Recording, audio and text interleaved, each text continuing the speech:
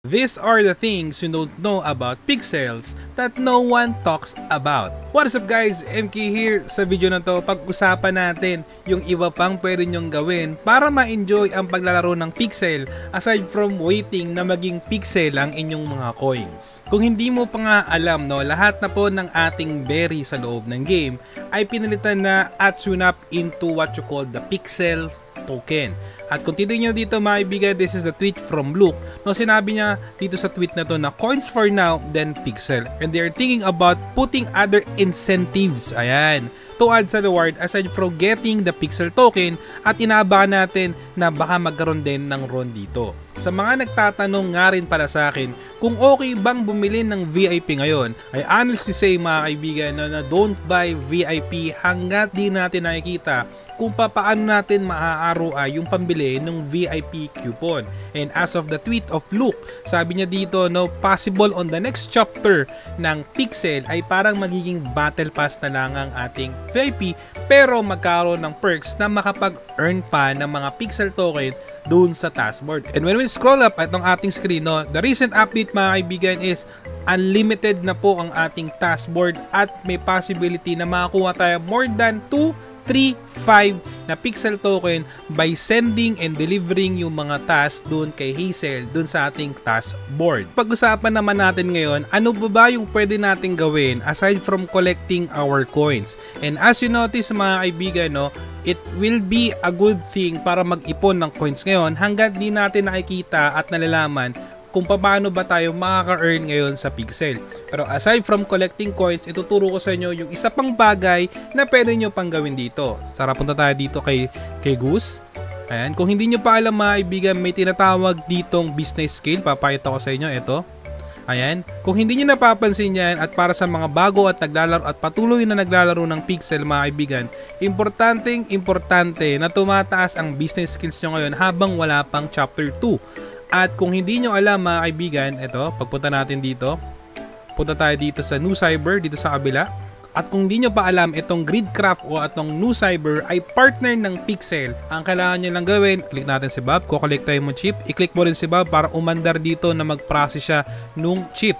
And then gagawin mo dito, pupunta ka dito sa labas, and then going down, tapos may makikita ka ditong truck. Ayan, click mo lang dito para ma-redeem dito yung tinatawag na box of supply. Tapos itong chip, ilalagay mo lang dito yung chip. Ayan. And then click mo lang ulit yan para mag-initiate siya. And after 4 hours, babalikan mo rin yan. And then right after dyan, punta ka sa may bandang taas. Okay, dito. Ayan, dito sa may bandang taas, makikita mo dito parang meron ditong uh, table. Ilalagay mo lang dito yung box of supplies. And then wait mo lang matapos yung countdown. Pag natapos na yung countdown, collect mo dito yung loot na makukuha mo at makakuha ka dito ng iba't ibang mga uh, recipe or materials na pwede mong gamitin sa pagcraft.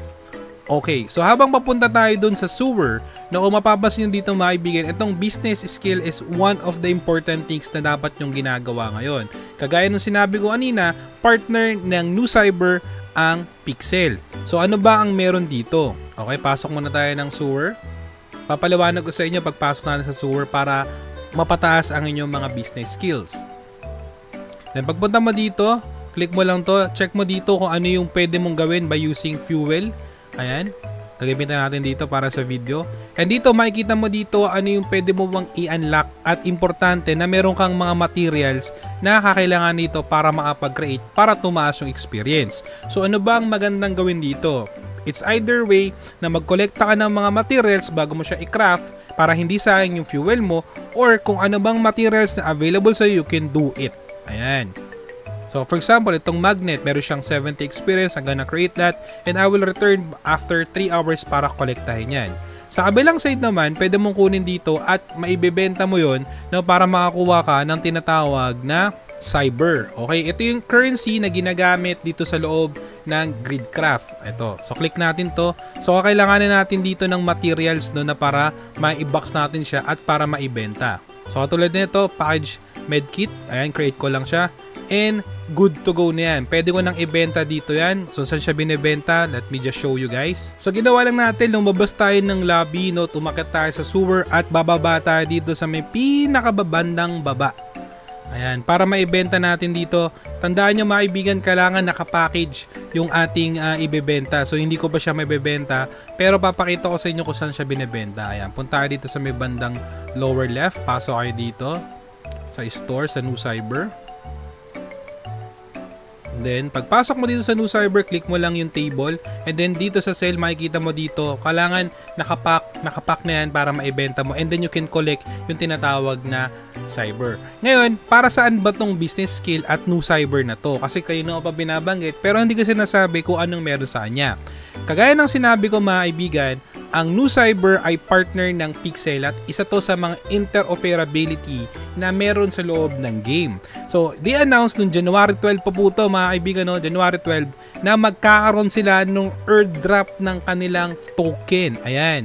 So, isa sa mga partner na ng New Cyber is yung Plots Finance. Okay, so ang gagawin mo lang dito mga kaibigan is, ito lang gagawin mo. More experience, more plots ka na makakuha. Pag meron kang apartment, isa pa to sa mga NFTs na bukod doon sa mga land na makakakuha ka ng plots. So, ang kailangan mo lang gawin dito mga kaibigan, no? Kailangan mo lang gawin dito, pataasin yung business skill mo. Pataasin mo lang yan. The more na mas mataas yung level niya, mas mataas yung experience the better. So right now, wala pang specific kung ano yung iba pang gameplay na meron sa New Cyber, but this is one of the things na pwede mo pang gawin sa paglaro ng Pixel na baka maaaring makita natin or pagamit natin as other potential earnings sa loob ng Pixels. Aside from playing the gridcraft ng New Cyber sa loob ng Pixel at pataasin ng iyong business skill, eh pwede ka pang maka-earn ng iba pang rewards without investing at engagement lang ang kakailanganin. And by doing the Mochaverse. So kailangan mo sa Mochaverse mga kaibigan is kakailanganin mo ng ID, no? ng Mochaverse. At alam ko marami naman din nagbibigay dyan ng libre para maka makagamit dito. Ngayon, ano bang reward ang makukuha mo dito? Okay. So last time mga kaibigan, no, nung nangyari nung December hanggang January, ito po yung mga rewards na makukuha mo dito no, sa Mochaverse. Ayan. So isa dito mga makukuha mga kaibigan, no, pwede kang makakuha. No, napakasimple lang naman no, ng farmland, ng pet at iba pang mga real points na pwede mong gamitin for future events ng Mochaverse sa loob ng Pixel. And by doing that, mali mo masama ka sa top 1,000 at makuha itong mga rewards na ito. Pero mo, naglaro ka lang, nag-engage ka lang, at possible makakuha ka pa ng reward. Ngayon pag-usapan naman natin yung mga website na maaaring makatulong pa sa'yo para mas maging mas mabilis ang iyong paglalaro at pagpapataas ng iba't ibang skills ano pinaka mabenta na anong pinaka mabenta sa market at possible na makompete mo ang reputation at makita ang progress mo sa loob ng game. Take note, hindi ako partner ng mga sinabanggit ko at ilan lang to sa mga tools na ginagamit ko para makatulong sa akin sa progression ko sa loob ng game. So umpisa natin dito sa tinatawag na Web3 triads. Okay, so web triads mga kaibigan, some of the data here are not updated but still, malaking bagay pa rin yung maitutulong dito. Most likely, no, katulad nito ng mga quest list. No, kung hindi mo alam kung paano mo tatapusin, ano yung mga requirements na gagawin mo o kakailanganin, no, nandito yan sa web triads. Isa pa sa pinakamaganda rin dito sa web triads na lagi kong ginagamit dahil ngayon, no, kasalukuyan nahihirapan tayong maghanap ng mga land na may mga wood. No, pwede natin magamit sa web triads. Halimbawa, maghanap tayo dito ng mga land na may pinakamaraming mga puno para magamit natin sa loob ng game. Simply use this website.